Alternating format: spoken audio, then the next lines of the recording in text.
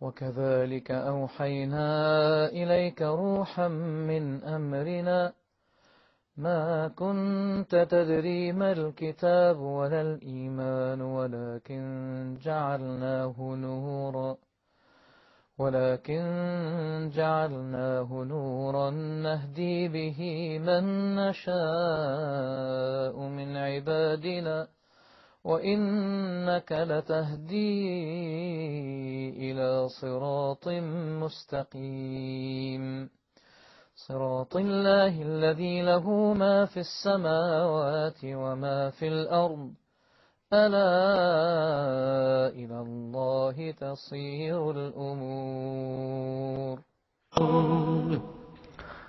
alaikum wa rahmatullahi wa barakatuh. Welcome to a new episode of Inspirations.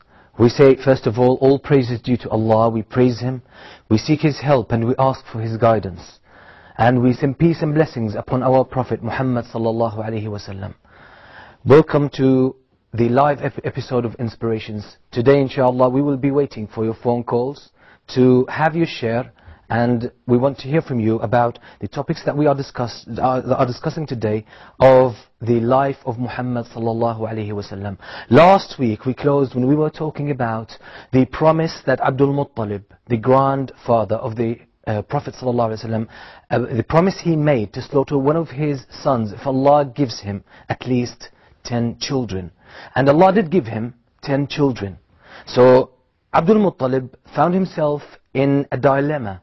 He had to slaughter one of his children. Now before we see how Abdul Muttalib got himself out of this, I would like to just give some kind of introduction about certain things which are important to the methodology we are following in this uh, program and in this show. We said previously, right at the beginning of this series on the seerah of the Prophet wasallam, uh, we pointed out the importance of only accepting the authentic narrations. I was recently, I came across certain comments about from some people. Some people are very dear to me.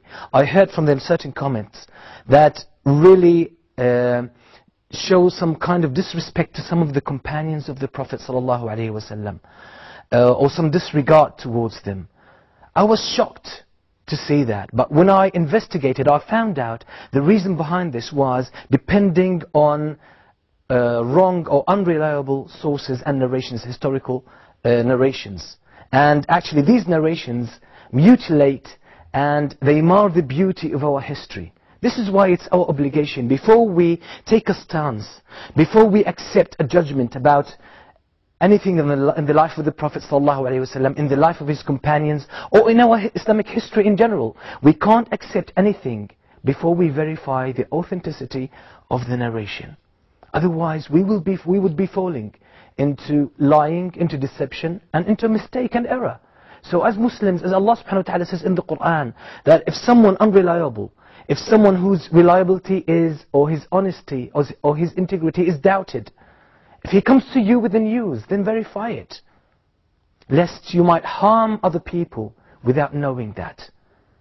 And in our history, there were so many attempts right from the early times of our history, from the beginning of our history, right after the death of the Prophet ﷺ, so many people tried to change our history. Because the ones who write history are the ones who control the destiny of nations. So, at the early stages of our nation, the Islamic nation, there were so many attempts to distort the image of the early generation, the companions of the Prophet ﷺ. And if you read the books of history, you will find so many narrations speaking very bad about them, mentioning things that you want, you can't really accept, you can't really believe that such a wonderful generation fell into such errors. Some narrations actually describe some of the companions with deception, with uh, having a conniving character and ulterior motives, lying and all that stuff. But when we come to verify these narrations, we would find them wrong and all fabricated. They came through liars. You find in the chains of narration of these narrations, you will find liars who fabricated, who made up lies in order to mutilate the Islamic history, in order to mar the beauty of the early generation. We know it's the best example, the companions of our Prophet sallallahu alaihi wasallam. So it's our responsibility as Muslims, if we want to have a clear image of our history, which, is, which means a clear, a clear image of our identity, a clear understanding of who we are, and who our ancestors were, and how great that generation was, we have to follow the authentic narrations. Now there is a methodology that is accepted, unanimously accepted among the scholars of Ahlul Sunnah wal Jama'ah. This methodology says, it was actually stated by Imam Ahmad ibn Hanbal. He says, when it comes to the Sharia, to the legislation, when it comes to the Aqidah of Islam, we are very stringent, we are very strict when we criticize the narrations. We don't accept any narration. It has to pass and meet certain conditions, otherwise it will be rejected. But when it comes to the seerah and history and historic accounts, we won't accept them, or actually we will try, we will try to be lenient with, with regards to these. Why? Because the early scholars paid or concentrated their attention on preserving the Sharia, preserving the Sunnah of the Prophet ﷺ, and they did a wonderful and a marvelous job. Our religion has been protected by the will of Allah and the efforts of our early scholars who established a system of checking and verifying narrations that has no parallel in all sciences and in all the you know, uh, annals of history. This is something special that we have, that our early scholars established this wonderful science of which we call Mustalah al-Hadith, the science of Hadith. So when it comes to the Sharia, to Aqidah, and when it comes to fiqh, they are very strict when they check the narrations. But when it comes to history, they sometimes try to be lenient because the early generations, they didn't pay great attention to the historic accounts for one reason, because they concentrated on the fiqh and aqidah. And even when history, history doesn't make that big change when it comes to uh, trivial and insignificant events. But the main events in the life of Muhammad sallallahu alaihi wasallam, the main events in the life of the companions of the Prophet sallallahu alaihi wasallam were preserved and we have them in our early sources on history, on our history. So let's make it our methodology. We won't accept anything that is said about the Prophet, peace be upon him, or about the companions of the Prophet sallallahu alaihi wasallam we won't accept anything until we have verified the authenticity of these narrations. With this, we would save ourselves from falling into error, from disrespecting some of the great companions, and disrespecting our early generations who held Islam, who actually Islam was handed down to us through them. And we should follow this methodology even today. When we hear certain events, when we hear so many people claiming to do certain things, and claiming to defend Islam, claiming to be concerned about the Muslims and about Palestine and about Iraq and about the oppressed Muslims, we shouldn't take their claims for granted. We should see all of this in context. The context of history and the context of their aqidah and their faith. There are so many people today there's a group among the Muslims, it's a huge group among the Muslims today. They claim, they claim to be defending Islam, they claim to be upholding Islam, they claim that they will bring victory and honor to Islam and the Muslims. But if we consider the history of this group, we would find a bloody history. These people who claim to be defending Islam, in history, they persecuted Muslims. They wronged the companions of the Prophet ﷺ. They always supported the enemies of Islam, like for the Mughals or the Tatars. When they invaded Baghdad, they invaded, invaded Baghdad through the help or by the help or with the help of, the, of this group. And when they entered Damascus, the Mughals, it was the help of this group of Muslims who helped them. And even Salah ad-Din, may Allah have mercy on him, the one who freed Al-Masjid al-Aqsa, from the grip of the Crusaders. He, he was, there were so many attempts to assassinate him by these people, by this group of people. So this is why Salahuddin, before fighting the Crusaders, he fought these people and he annihilated them. So we have to see these people in the light of their history. Throughout the history, they are persecuted Muslims, especially in Asia. they persecuted, persecuted the people of Ahlul Sunnah. And then they come today with a new shape, claiming to be the holders of the honor of Islam. We say to them, we don't believe you because they, you have a bloody history. And if we consider their aqidah, their faith, their belief, we would see shocking facts about their belief. We would see them claiming that the Quran is not authentic. We would hear them and read in their books, cursing the companions of the Prophet ﷺ, considering them to be kuffar, to be apostates. How is it that someone is going to bring honor to Islam while he is cursing the companions of the Prophet ﷺ? This means the Prophet didn't manage or was a failure in teaching and educating, uh, and educating his companions. This is something unacceptable. We have to see everything in context. Put it in context, and you will see everything clear. So, uh, these, I thought of actually talking about these points before we start, because, inshallah, every time as we go, uh, as we go on in the seerah, we'll try to shed some light on our situation today, the situation of the Muslims, so we benefit from what we are doing now. Because seerah is not only entertainment, it's not a matter of storytelling. Yes, there is storytelling element in it, but the main thing of it is achieving the verse where Allah subhanahu wa ta'ala says, لَقَدْ كَانَ لَكُمْ فِي رَسُولِ اللَّهِ أُسْوَةٌ حَسَنَةٌ Indeed, for you in the Prophet ﷺ there is the role model for those who are looking forward, those who are looking up to the time when they will meet Allah on the day of judgment.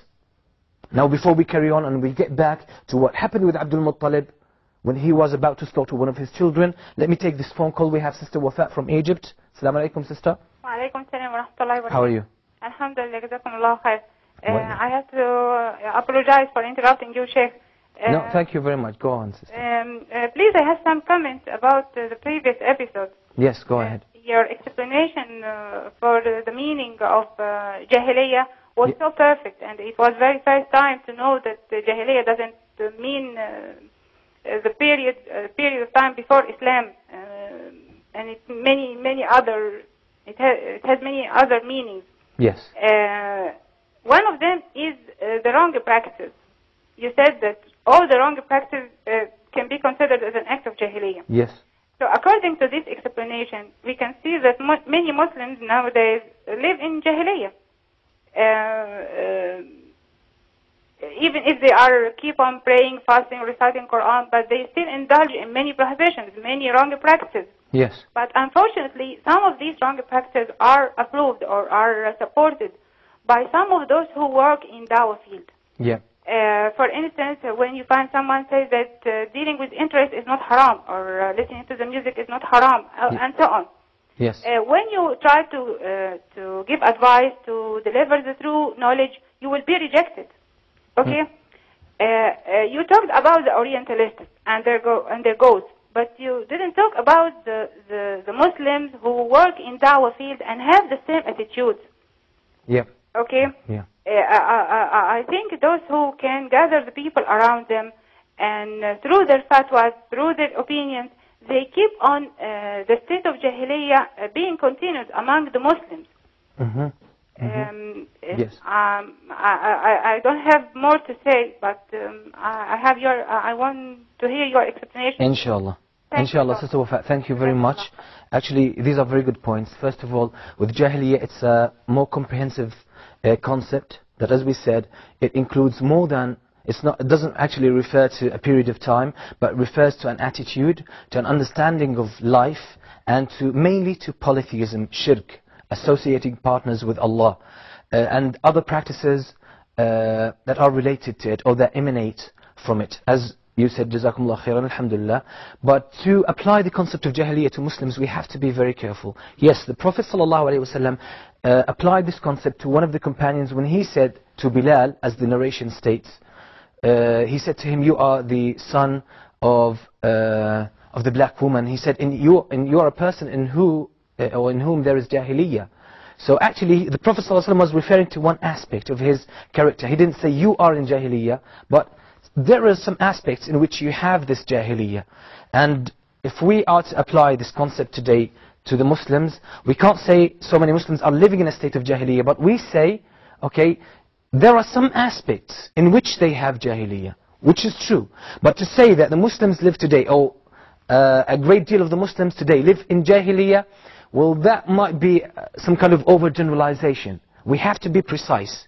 If we want to tackle a problem or an illness and, uh, or a dilemma and we try to deal with it, we have to be very precise because we have to develop uh, a very precise vision, a very precise and accurate understanding and from there we go on to inshallah healing it and uh, providing the remedy.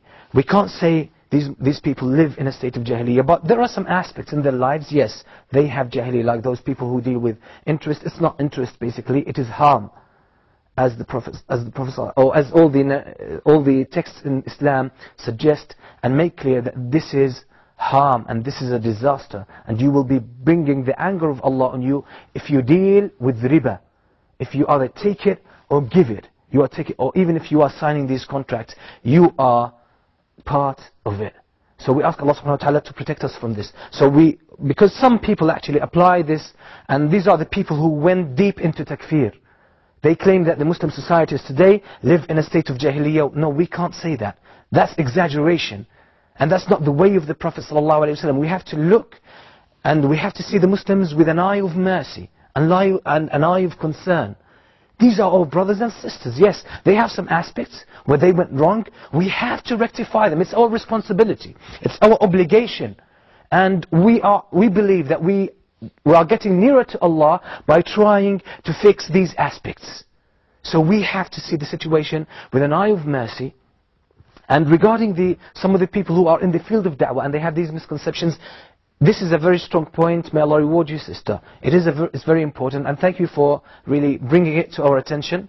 I will inshallah try to deal with it and shed some light on it because it is very important and some of these people are very influential and they are spreading a wrong understanding about Islam because they have been so much influenced by the strength of the Western discourse and the discourse of some of the enemies of Islam. Now let, us have a short break. We'll carry on after it, so stay tuned.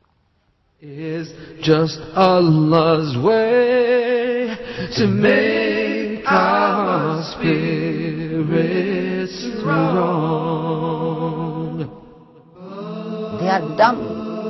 Though they can express themselves in a very beautiful way, in a very eloquent way, but when it comes to the truths, they become dumb.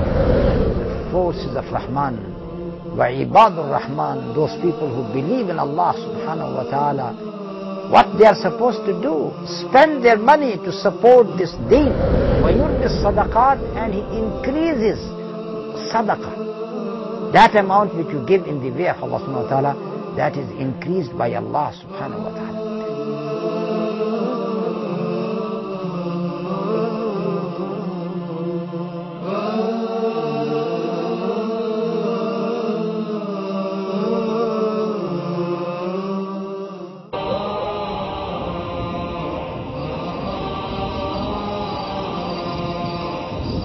And people need each other's need scholars more than they need to drink and eat.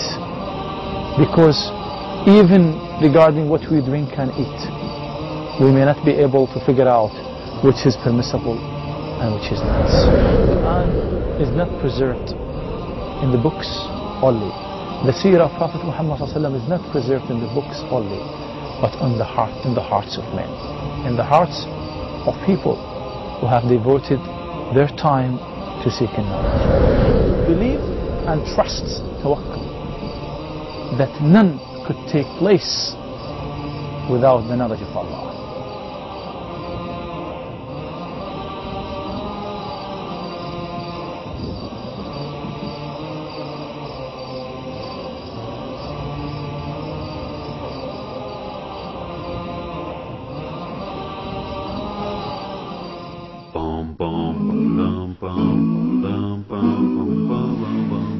You look into the early tafsir, early exegesis of the Quran, you will find that uh, all the Mufassirin were trying to find out where are the seven earths. Earthquakes, natural or artificial, can delineate the boundaries between seven different zones within the earth. uh, the conclusion that we have seven different layers within the earth came to notice only in the 20th century. The true believer would prostrate down in obedience to Allah subhanahu wa ta'ala. The blessings of that prostration will reach the seventh earth.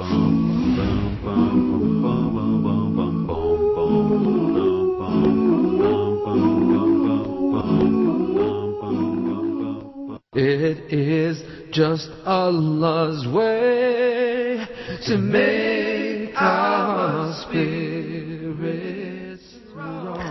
Assalamu alaikum wa rahmatullahi wa barakatuh. Welcome back. You're still watching Inspirations Live. We will be waiting for your phone calls, so please do call us. The numbers will appear on the screen. And let me remind you as well of our email address. You can write to us on inspirations at huda.tv. Before I get into how Abdul Muttalib got himself out of the dilemma, uh, I would like just to point out that I really thank uh, Sister Anne for her uh, emails, mashallah, very good suggestions, very good points, and I took some of them into consideration. Like really, uh, she had one suggestion which was very good, mashallah, and it met something that I thought of previously, which was uh, really going deep into the misconceptions presented and stated by the Orientalists. I found out that it won't add so much to the seerah of the Prophet ﷺ. So I thought of an alternative, which is to mention some of their misconceptions, the main ones. Mention them, mentioning, I thought of mentioning them just quickly, pointing out their uh, faults and where they went wrong and how to review them very quickly in the light of the events that we will be mentioning inshallah without needing to go into their books or their names. Sometimes I will have to state some of their names, but we will deal quickly with their misconceptions because really their books are not very widespread, even among the average Western reader. But the thing is, even though Western readers, the average Western reader won't read their books, or mainly they don't read their books, or they don't have access, or they don't have an interest into such a subject. But the thing is, when someone writes a novel, or a story, or a movie, or a piece of news, they all depend on these, on the books of Orientalists. So, so, they come and they emanate, they stem from these books. This is why it's very important to just develop a general awareness of where the Orientalists come from. And another objective behind dealing with the books of the Orientalists and their lies is just to expose the reality of their so-called scholarship. And you will see inshallah today, or inshallah next week as well, some of the lies, the outright lies. Because they, actually, they take advantage of the fact that most of the Western readers, they don't read Arabic, so they don't have access to the Arabic original books on the seerah of the Prophet. So they use, they use that, they take advantage of it in order to create a first impression which we call the reference point and then it's very hard to move the Western reader or the, the Western uh, viewers from that reference point. It would take a lot of effort by the Muslims to create a new reference point which is based on the truth. Okay, and I thank as well, there's another brother, brother from Nigeria who sent us a wonderful email that he went into some of the books that talk about Orientalism uh, and about some of the writings of Western scholars, because among the Western scholars there are ones who are unbiased, who are just, and they are looking for the truth. And they have some good contributions to Islam and the Muslims and to uh, clarifying the truth to the general public and hopefully that by their good intent, intention we ask Allah subhanahu wa ta'ala to guide them to the truth. Now let's get back to Abdul Muttalib. Abdul Muttalib was in trouble. He's got 10 children now and he is to slaughter one of them and he was determined to fulfill this promise. Now the only authentic narration on this event says that Abdul Muttalib he himself thought of ransoming Abdullah because when they drew the lots, the lots fell on Abdullah. So he had no choice but to slaughter his child Abdullah. The authentic narration states that he said, Oh Allah, I, would, I will ransom my son with a hundred camels. Now, a hundred camels is a huge amount of wealth. Imagine, even if we talk about in, in terms of today's money, today's currency, a, a camel would, in average, cost maybe about $5,000. When you are talking about, far, uh, talking about 100 camels, it means about half a million. Now that's a great wealth only for ransoming his child. And it tells us here now that when you want something from Allah, you don't have to make a vow.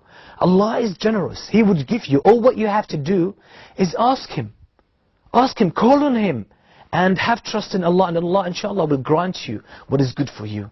You don't have to make a promise or make a vow to harm yourself or harm your children or harm somebody else. No. So this is why the Prophet ﷺ actually advised the believers not to make a vow. But once you have made a vow, then you have to stick to it. Some other narrations, they have not been authenticated. But there's no harm in mentioning these. Now this is part of the leniency of the scholars of hadith when it comes to history. History, historical events that have no relation to the fiqh or aqidah, there's no harm. Inshallah, you will see as we uh, go through the seerah that sometimes we'll bring some of the narrations that have not, that have not been verified. But these narrations, they are not related to fiqh or aqidah or to a major event in the life or an event that would change the course of event, events or anything else. It wouldn't have that weight in the history. So there's no harm if we bring such narrations whose weakness is tolerable in order to make a complete image, in order to fill some of the gaps that we would find in some of the incidents. And that's why I said the condition is they should not be related to aqidah or fiqh. Some of these narrations say, for example, that Abdul Muttalib was in trouble and he was about to slaughter Abdullah. But the leaders of Quraysh came to him and they said, are you crazy? You're going to slaughter your son? And you know your position among the people of Quraysh. You know if you do it, people will follow you. So it would become a habit or it would become a tradition that if someone gets 10 children or 10 sons, he would slaughter one of them. Are you going to establish uh, a nasty practice like this among us? So he said, okay, help me get out of it, out of this. They said, okay, there's a, a fortune teller, or there's a witch, okay, with Bani Sa'd, we can go to her and she would get you out of that. They went to this witch and she said, okay, after hearing the whole story, she said, what you have to do you have to bring 10 camels, which was considered to be the average or the standard blood money at that time. Bring 10 camel, camels, put them on one side, and bring Abdullah on the other side. And then drew, draw the lots. If they fall on Abdullah, then you have to add another 10 camels. They become 20. But if the... And so on and so forth. Every time the lots fall on Abdullah, then you have to add 10 camels. But if the lots fall on the camels, then that's it. That's his ransom. So they actually did that, as the narration suggests. They did that. They cast the lots first time, it came on Abdullah. Another time they drew the lots, came on Abdullah. For ten times the lots fell on Abdullah. After that, after they reached a hundred camels, the lots fell on the camels. They did it again and again and again in order to make sure and the lots fell on the camels. So for them that was a sign that Abdullah is freed. Now, you could imagine how happy Abdul Muttalib was. And how happy the whole family was. Imagine, Abdullah was the youngest among his children and was the dearest to him. and he was going to slaughter him. Now getting out of this calamity, he didn't mind paying all that wealth, 100 camels, which is worth about half a million, or even maybe a million at our times in order to save his child. Now Abdullah was very happy. Abdullah grew up and he became a young man. It seems from the uh, impression that we get from the books of history that Abdullah had a mild character, a beautiful character. He wasn't a troublemaker. He wasn't someone who made a big difference in, this, in his surroundings. He had a very mild character because there is very little news, no, no, very little news and events known about him. So it indicates that he was an average person, a very soft kind of character. This is how he carried himself throughout his young age. Then Abdullah reached the age of marriage. And as any young man, he was looking for a wife. Abdul Muttalib paid great attention to find a good wife for his son Abdullah because he loved him so much. Looking and looking in the houses of Mecca, trying to find a wife for Abdullah. Abdul Muttalib chose Amina. Now Amina was among the most respected and respectable uh, families in Mecca and in Quraysh. Abdullah was very happy. He found Amina to be a wonderful wife. They both had dreams as a family. A husband and a wife. Newly married. They had so many dreams about children, about building a wonderful house, a beautiful house, as it seems to be, the, this is the impression that we get from the books of history. And everyone was happy that Abdullah was not slaughtered by his father. And how much, you could imagine how much Abdullah, how happy he was. And how Amina was happy with him. But even though Abdullah was saved from death with the ransom of a hundred camels, he was heading to his own death on the back of, one of, of, another camel. One day Abdul Muttalib sent Abdullah to Yathrib. Yathrib was the name of Medina, which we know today as Medina, about 400 kilometers to the north of Mecca, in order to bring dates. Because we know Mecca is a barren valley, is a barren area. There is no agriculture, there's no vegetation, very little grass and herbs here and there. But Medina is very known for the palm trees, for the date palms. So Abdullah went to Medina in order to bring dates.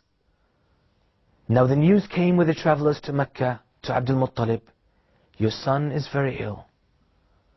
Another shocking news later on came to Abdul Muttalib, that Abdullah was dying.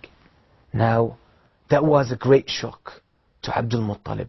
His dearest son is dying 400 kilometers away from him. And who's, most, who's actually in a worse situation was Amina.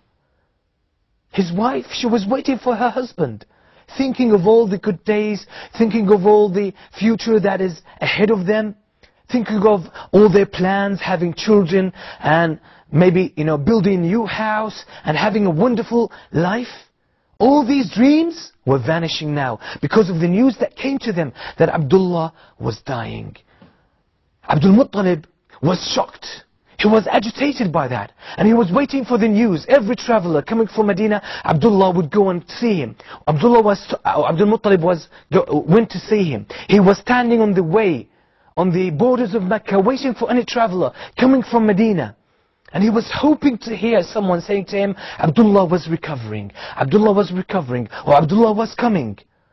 But the news came to Abdul Muttalib that Abdullah had died. That was a great shock to Abdul Muttalib. And it was a greater shock to Amina. Now all the dreams of Amina and Abdullah vanished. All of them disappeared. It was a new situation for Amina. And in her womb, there was the child of Abdullah. That was the greatest man to be born. That was Muhammad sallallahu alayhi wasallam. So the father of Muhammad died when Muhammad was in the womb of his mother. So he came to this life as an orphan. Everyone in that family was shocked. They were touched, deeply touched, by that sad incident, the death of Abdullah. So the hundred camels did not avail him. Yes, he was saved from being slaughtered. He was saved from death. But his destiny was to die soon after. And this was exactly what happened. Abdullah died. And the, all the dreams, all the sweet days that Amina thought of, vanished and disappeared forever. Now, in all this silence and all this sadness, something came to shake Mecca. There was a great army of 20,000 soldiers, fully equipped, heading towards Mecca in order to destroy the sacred house, to destroy the house of Allah. What is the story? The silence was broken. All this sadness about Abdullah disappeared because there was a great event happening. Mecca was all at stake. It was all to be demolished and destroyed, especially the sacred house. When they heard the news, what happened? What brought this army? How did they come here? What is their goal? What is their objective? What are the reasons behind this army heading towards Mecca? Now this is something we have to look into. We have to go back in history to see what happened. This, history, this army was coming from Yemen, from the south, was heading towards Mecca. Let's see check, and check the history of Yemen. Yemen was under the reign, of the Arab tribes like Himyar and Saba. And we know the dam of Ma'rib, which actually was the basis of civilization in Yemen. Now, Yemen went through different stages in history, and it, there were so many Christians in Yemen, especially in Najran, the area called Najran. Uh, One, actually, at some stage of the history of Yemen, the leader of Yemen, or the governor of Yemen, embraced Judaism. And then he persecuted the Christians. He dug a ditch for them and he set fire in that ditch and he persecuted the Christians. And we know this is the story referred to in the Quran in Surah Al-Buruj where Allah subhanahu wa ta'ala talks about this story. So the Roman Empire, because they were Christians, the Abyssinians were Christians, they decided to retaliate. So they sent an army in order to take revenge of these, the people of Yemen, the Jews in Yemen. Now what happened, inshallah, we'll find out. Just let me take this phone calls. We have Brother Muhammad from Mauritania. Assalamu alaikum, brother. عليكم السلام شيخ كيف حالك؟ Alhamdulillah, how are you? عليكم akhi? السلام Go ahead, please. الحمد لله I very love you Sorry, akhi, go ahead.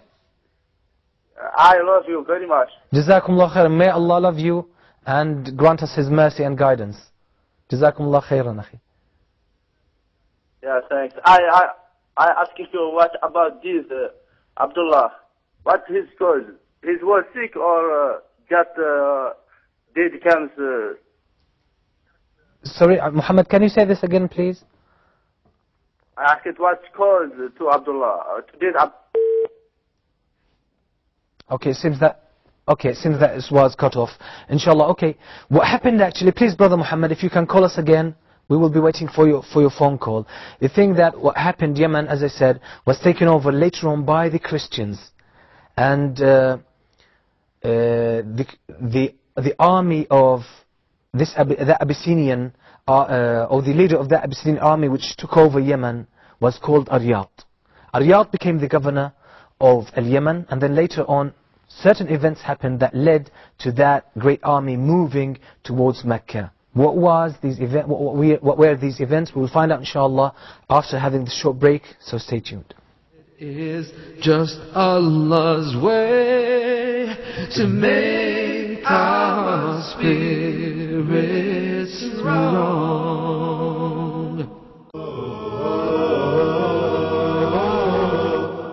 the companions of the Prophet ﷺ, all of them trustworthy. We don't look into their or their adala, uh, uh, of they are trustworthy or not. They are all trustworthy.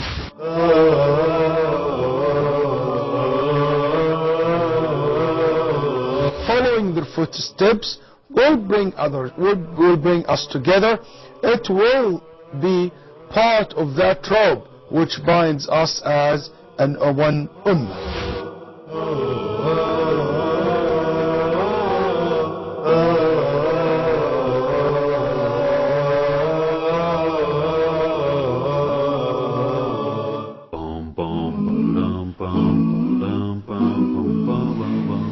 If you look into the early tafsir, early exegesis of the Quran, you will find that uh, all the Mufassirin were trying to find out where are the seven earths. Earthquakes, natural or artificial, can delineate the boundaries between seven different zones within the earth. Uh, the conclusion that we have seven different layers within the earth came to not only the 20th century. The true believer would prostrate down in obedience to Allah subhanahu wa ta'ala, the blessings of that prostration will reach the seventh earth.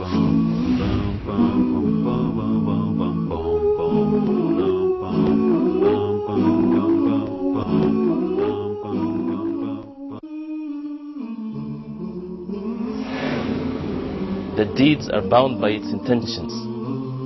The deeds that we do, we have to have a sincere intentions that we're doing it only for the sake of Allah subhanahu wa ta'ala. We have the best definitions of things, the right vision, the criteria in which we would get to know what is right and what is wrong through the Quran and the Sunnah of the Prophet sallallahu alaihi wasallam. The tafsir of the Quran is to explain, is to interpret the best words, the words of Allah subhanahu wa ta'ala.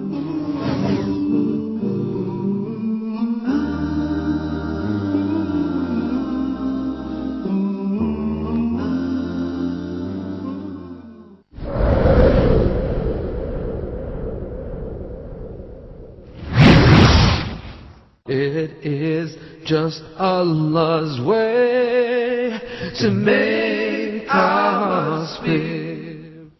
Assalamu alaikum wa rahmatullahi wa barakatuh. Welcome back. You're still watching Inspirations Live, and inshallah we will be waiting for your phone call. Before we carry on, let me take this phone call. We have Sister Asia on the phone from Saudi Arabia. Assalamu alaikum, sister. Assalamu alaikum, sister. Salam alaikum, Sheikh. Wa alaikum salam wa rahmatullahi wa barakatuh. Yes. Allah, the world, all the stuff. Hello, this is Maryam from Nigeria.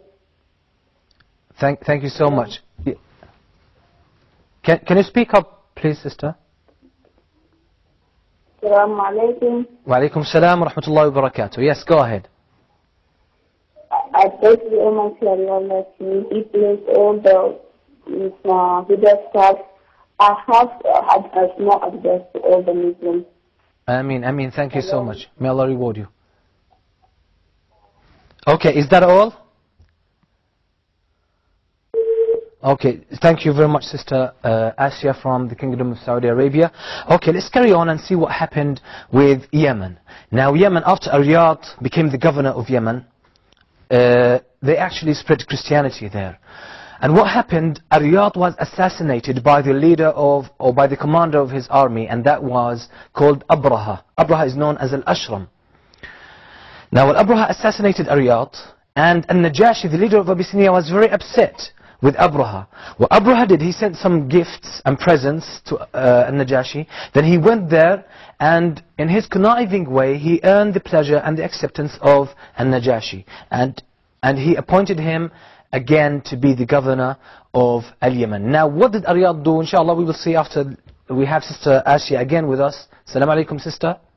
Assalamu alaikum, Sheikh Moutasem. This is Asia.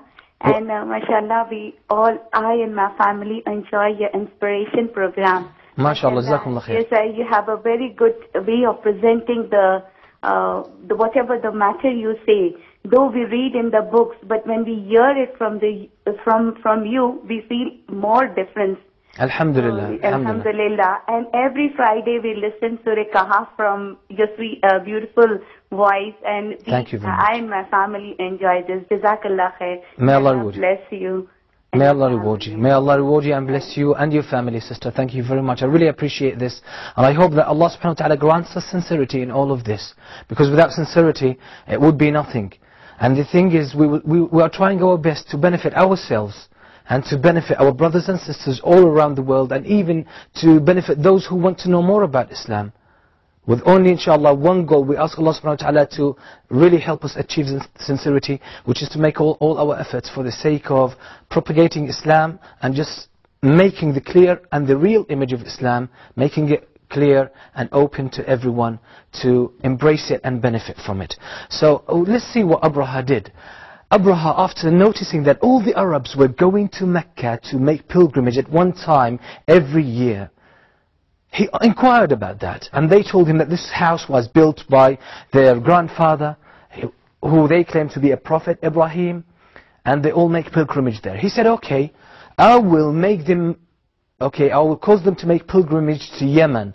And he, he established or he built a church, a huge and massive church, which he called Al-Qullays. And it was a wonderful construction, actually, some parts of it, like the domes, were made out of gold. Uh, then he summoned and he called, he spread the word among the Arabian Peninsula to come and worship and make pilgr- pilgrimage to this Qullays, to this house. What happened? None of the Arabs came to him. And actually some reports suggest that some of the Arabs went there and they disrespected, they dishonored the place by defecating in that place. So Abraha became very angry and very agitated and then he was determined to go to Mecca and destroy this house. They, he said, if they don't want to come to my house here and worship, I'm going to destroy their house and then they will have to come here and worship. They, they will have no other alternative. So he set up this army made of 20,000 soldiers and he made something extraordinary and never known to the Arabs. He brought, he brought uh, elephants to lead the army. Because, we know elephants are very massive, very gigantic animals, and they can demolish the Kaaba. And they would be scary. And that would be actually, this is part of the psychological war as well. When the Arabs see the, the elephants, he knew that these Arabs, they won't fight against him. They won't resist that army.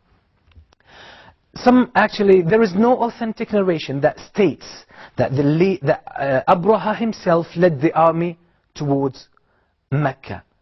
But that he sent another, some of the narrations suggest that he sent another uh, leader which, who was called Sambar or Simbar. But regardless, anyway, there is no reliable narration about this. Maybe Abraha, maybe somebody else, but it was someone who was sent to Mecca to lead this army. We have a phone call from Nigeria. Assalamu alaikum, brother. Assalamu alaikum. Wa alaikum salam wa rahmatullahi wa barakatuh. Uh, I just call to greet you and to say to pray for you. May the Almighty Allah bless you and your family and all your group that are doing this our program. I really love you. I love Mohammed Salah and all the producers of the program. MashaAllah. May Allah reward you, Akhi. I really thank you. And I also... Mm, uh, yes. I just want to ask one question, but maybe it's out of the program, but it's about picture photograph. Is it haram or halal? Okay, brother, I would suggest, just, just because I don't want to get this program out of its objective, if you really uh, call and ask Huda, and Sheikh Muhammad Salah, I'm sure he would give you uh, a comprehensive answer. That would be enough, inshallah. And uh, even if you don't call them, I, would, I will forward the question to Brother Jamil, inshallah, for Sheikh Muhammad Salah to answer this question fully and give you full guidance about the subject. Okay, brother? May Allah reward you for this phone call and for your nice words and for your encouragement. And I really appreciate all of this. And I say that this program, alhamdulillah, uh, a great part of it has been your own encouragement and your own suggestions and your own advice. So may Allah reward you. And as I said, it's a collective effort. Don't look at or don't only consider what you see on the screen. There are so many brothers working behind the, the scenes. And they deserve, inshallah, a lot of reward from Allah and a lot of appreciation from all of us. Okay, so the army of Abraha al-Ashram headed towards Mecca. He was opposed by one of the tribes first, and he totally destroyed them and he took their leader as captive. Then he headed on towards Mecca again and there was another tribe that tried to resist him but he destroyed them totally. Now the army of Abraha headed towards Mecca or they approached Mecca from the east because that was the best way to get straight into the house, into the Kaaba in order to destroy it. Now the authentic narrations state that all the people of Mecca were advised to go on the mountains, to leave Mecca, evacuate Mecca totally, because they won't be able to resist such an army. They knew that. And they realized that they had no chance stopping this army. So they decided just to save themselves and save their wealth and their children and their families and watch what was going to happen from the top of the mountain. Now the only one who did something different was Abdul Muttalib. According to the authentic narration on this, Abdul Muttalib went to the leader of, or the commander of that army, and he said to him, what brought you here? With a strong language. If you really wished anything, you could have just told us, and we would bring it to you. Now, what was the response of that leader? Let me take first this phone call. We have phone call from Syria. Assalamu alaikum, sister. Assalamu alaikum. Wa barakatuh. How are you, How are sister? my? How are my brother? Alhamdulillah, Jazakumullah khair, sister. Alhamdulillah, I'm I'm all right. Sister Ilham from Syria. I ask Allah to keep you for all Muslims. Jazakumullah khair, may Allah reward you. First of all, I'm sorry I'm not fluent in English language. No, mashallah, you speak very good English. Go ahead. Thank you very much. But I will try to speak it now because I hope to contribute with you. Go ahead, please go ahead, go ahead. Jazakallah khairan for all your program. Uh, for, uh, uh, for us, we are studying in secondary school. We are taking the Western uh, history as uh, basically uh, subject in our school. Yes. How can we have good generation with it? And I have written uh, research about the women in Islamic world, pre and in Islamic world. I hope to send it to you, channel. How can how can I do that? So again, what, what was the research about? about the women in Islamic world, pre-Islamic world and in Islamic world. Okay, okay. Um, actually, this topic is is very deep and it needs a lot of references. Um okay, I would suggest, sister, that you write an email to us, and inshallah, I will answer you in detail. I will give you references, uh, either books or uh, some websites that will inshallah give you enough information. So please do write to our email address. You know the email address, which is inspirations at huda.tv. Inshallah, I will give you enough information about this and more references, so inshallah it will help you. In both Arabic and English, inshallah. Okay, now let's see what happened. Abdul Muttalib came uh, and he said to the leader of the army, why did he come here? He said, the, uh, the leader of the army said, we don't, uh, he said, if you want wealth, if you want anything, we will give it to you. The leader of the army said, we don't want wealth, we don't want anything. All what we came for is to destroy this house. Because we heard that everyone entered this house was safe, and we came to scare its people and to scare everyone here. Now this was the response of the leader of the army. What happened after, happened after that? Great events happened. Inshallah, join us next, next week to find out what happened and to see what happened on that day because there was a great event that happened on that very day. What was that? Join us next week. I leave you in peace. Wassalamu alaikum wa rahmatullahi wa barakatuh.